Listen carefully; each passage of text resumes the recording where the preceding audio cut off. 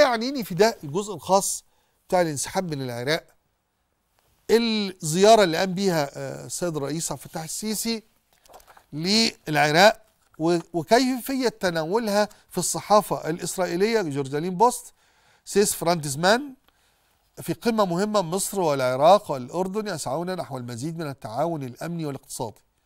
قد تكون قمة مصر والعراق والأردن نبأ سارا للشرق الأوسط. ما أستطيع أن ألخصه من رأيي إزاء هذا المقال يعني وغيره إنه مصر هي الدولة العربية الوحيدة التي لم آه الوحيدة التي لم تلوث يدها كدولة ومؤسسه حكم وشعب. طبعا الإرهابيين المصريين راحوا بس دول إرهابيين يعني الإرهابي لا جنسية له فعلا لأن جنسيته هي الإرهاب جنسيته هي الإسلام السياسي جنسيته هي الجماعة مش اللي موجودة بجواز السفر مصر غير ملوثة بأي يعني دم من دماء العرب أشقاء وأحبة يعني اللي نزفت في سوريا والعراق. في حروب أهلية طويلة وفي عمليات إرهابية كثيرة تورط فيها الأتراك مع بعض الأطراف العربية بالمشاركة المتورطة المنغمسة. المنغرسة.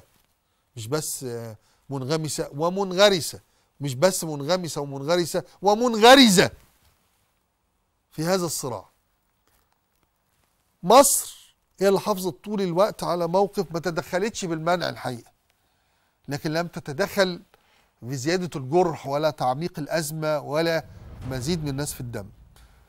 فلما يجي مصر بقى تظهر وتعود مرة أخرى لموضعة موقفها في الشرق الأوسط ولقيادة تنتظر مصر للشرق الأوسط.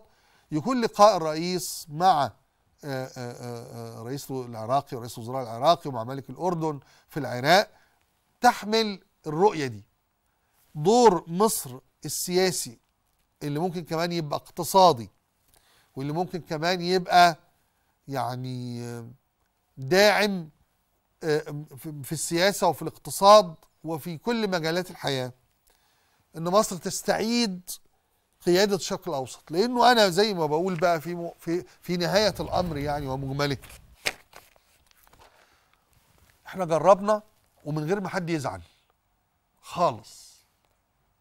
إحنا جربنا قيادة مصر آه، والسعودية للعالم العربي في فترة الرئيس عبد الناصر.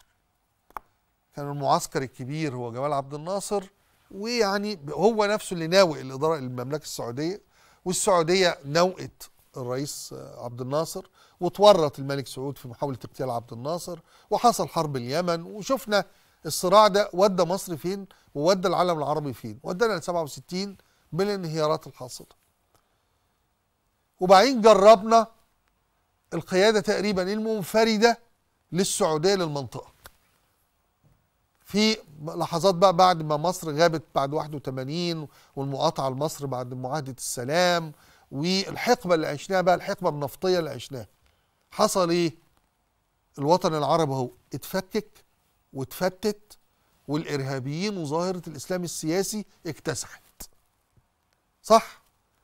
فشفنا هذا كلام أنا واصل فيه إلى اعلى درجة من حدود الصراحة فشفنا مجتمع العربي وهو بالشكل ده في الستينيات. والنهاية كانت إيه؟ وشفنا في التسعينيات والألفية الشكل الوطن العربي كان شكله الدول العربيه ومين كان بيسوق؟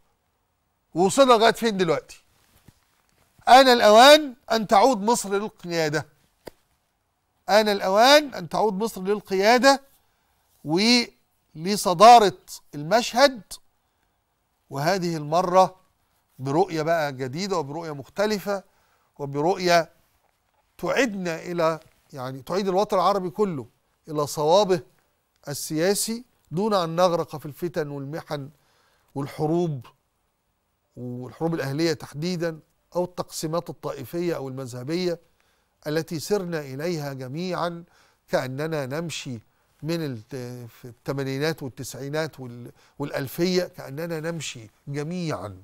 وطن عربي كله خطوات منتظمة واثقة شامخة إلى الجحيم.